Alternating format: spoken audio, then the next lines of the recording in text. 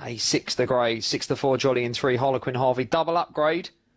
Off and racing away. Good start from two as expected, punching up on the inside, showing that early dash into the opening turn. And it is the blue of two out in front. Then comes a day late who caught the eye staying on last time out. And these two have broken right away from Blue Star Pilot in six. Then comes five. It is the blue of two is out in front. Here comes one though, snapping at the heels of the leader, looking for racing room. Short of it at the moment. Still two out in front. Pack beginning to close. Six is staying on strongly, but the blue of two still out in front here. And two is going to make all of the running. Bandit Pebbles goes track to line, and the blue of two wins the 642.